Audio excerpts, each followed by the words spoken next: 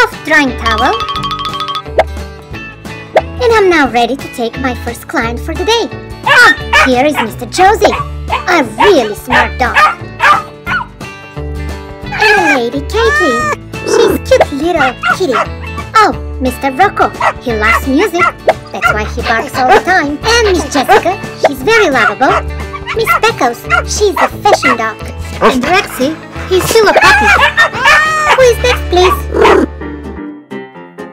Mr. Josie, of course. He was first here this morning. Good morning, Mr. Josie.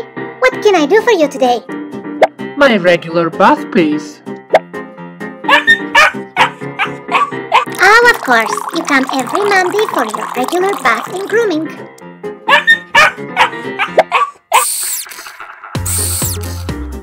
You love it when I scrub the bubbles of the shampoo. And a little on your nose.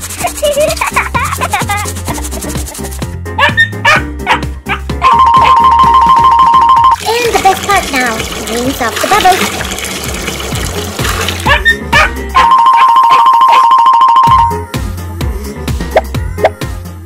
I first dry you with the towel and then with the hair dryer for a better style.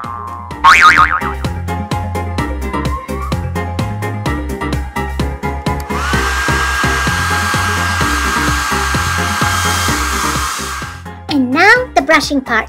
It's the most important part for any stylish and self-respected dog. Here, Mr. Josie, a well-deserved doggy treat. Who is next on the line, please? Lady Kayla, of course. She needs a little haircut of her fluffy tail. Voila! You're ready, Lady Kathleen. Next one to come in, please.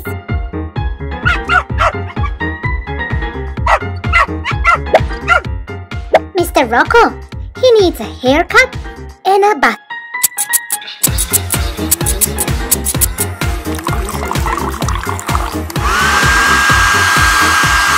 And the treat, special doggy treat. Next in line, please. It is Miss Speckle's turn now. For her short hair, I'm gonna use the hair cutting machine. Hang in there, Speckles. I know it can be ticklish there. A little perfume, a little lotion, and your spectacles.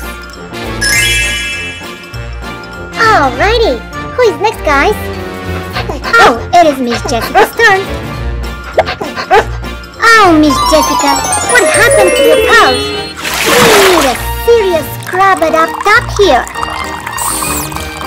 I better get the rubbing glove and scrubbing brush.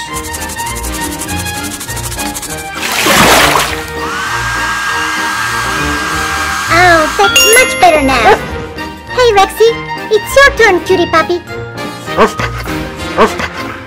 Oh, Rexy, that's quite a mark. Were you playing with the kids' crayons again?